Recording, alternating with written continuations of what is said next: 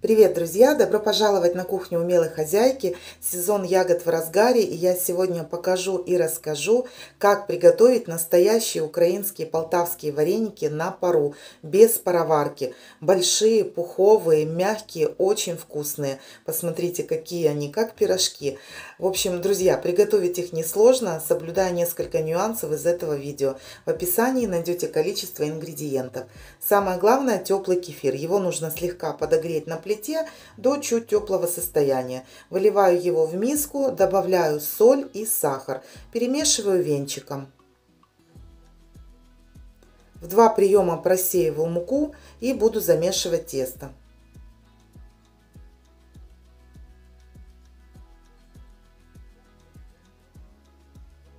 Во вторую часть муки добавляю чайную ложку соды, перемешиваю, просеиваю и замешиваю тесто вначале венчиком, а затем уже руками буду собирать его. Долго вымешивать не нужно, достаточно, чтобы тесто собралось в один комок. Оно очень липкое, внимание, муки больше ни в коем случае не добавляйте, лишь только указанные мною пропорции. Посмотрите, какое тесто должно быть.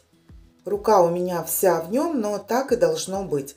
Накрываю пищевой пленкой, оставляю отдохнуть на 30 минут. Это очень важно. А пока подготовлю емкость для варки вареников. У меня это обычная кастрюля, у меня нет пароварки. Я налила в нее воды примерно до половины и обвязываю марлей. Э, у меня такой дежурный отрезок марли, который я использую всегда, когда нужно что-то приготовить на пару.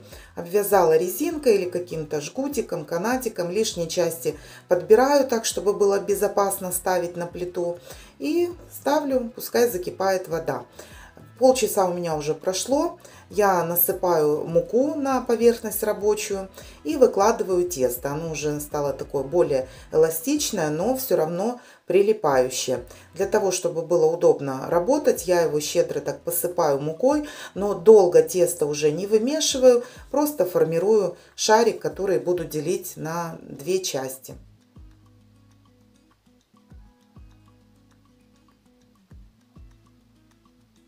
Сначала делю на две части, потом еще на две. У меня получается 4 э, части теста. Три из них я пока убираю в сторону, накрываю пищевой пленкой, чтобы они не заветрились. А с одной буду работать. Тесто очень мягкое, ну прям ну, такое нежное-нежное.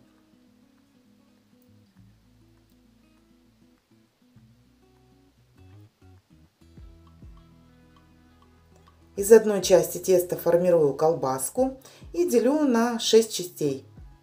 Из одной колбаски у меня получается 6 э, вареников. Ну, соответственно, всего будет 24 штуки. Но я их делаю большими. Э, в принципе, классические вареники, они не, не должны быть такими прям маленькими. Ну и так, знаете, взял в руки и наелся. Тем более, сегодня у меня вареники с вишней.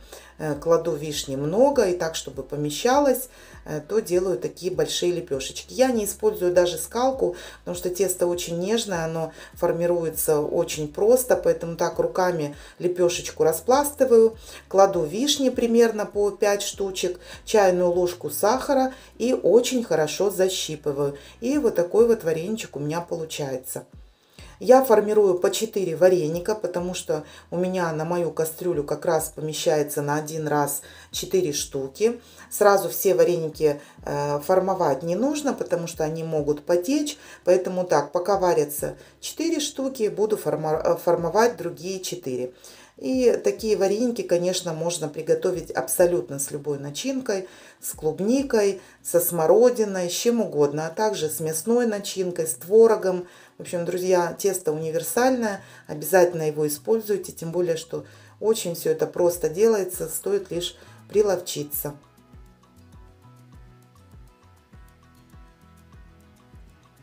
Можно также, если с клубникой, например, будете варить вареньки, то внутрь не класть э, сахар, чтобы клубника не потекла, а просто посыпать сахаром потом вареники сверху.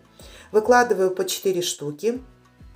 Обязательно на расстоянии, потому что вареники очень хорошо поднимаются. Накрываю крышкой и варю ровно 5 минут.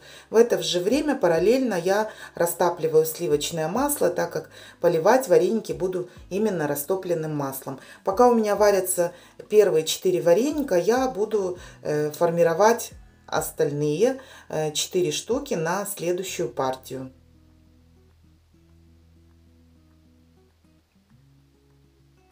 Очень приятное тесто в работе. С ним очень легко и просто все с ним, из него делать, лепить. Поэтому, друзья, обязательно пробуйте, пишите отзывы в комментариях. Надеюсь, что этот рецепт вам пригодится. А если вы никогда не варили паровые вареники, то с этим рецептом у вас точно все получится. Первая партия у меня готова. Еще обращаю ваше внимание, что сильно тонко распластывать лепешечки не нужно, потому что они э, могут в итоге потечь. Вот видите, как у меня один вареничек немножко э, прорвался. Ну, ничего страшного. Сразу же вареники поливаем растопленным сливочным маслом и отправляем следующую партию вариться. Сильно э, близко друг к другу не кладите вареники, потому что они во время варки могут слипнуться. 4-5 минут и все готово.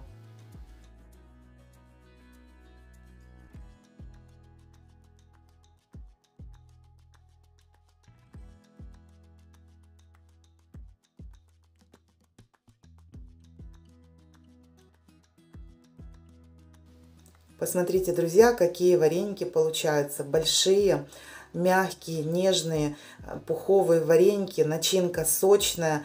И она, кстати, не очень и течет, потому что тесто такое, знаете, оно как бы немножко в себя вбирает. В общем, это очень вкусные вареники, которые обязательно нужно приготовить в летний сезон. Э, приготовьте, напишите отзывы в комментариях. Я думаю, что вам обязательно понравится. Всем желаю мира и добра. Пока!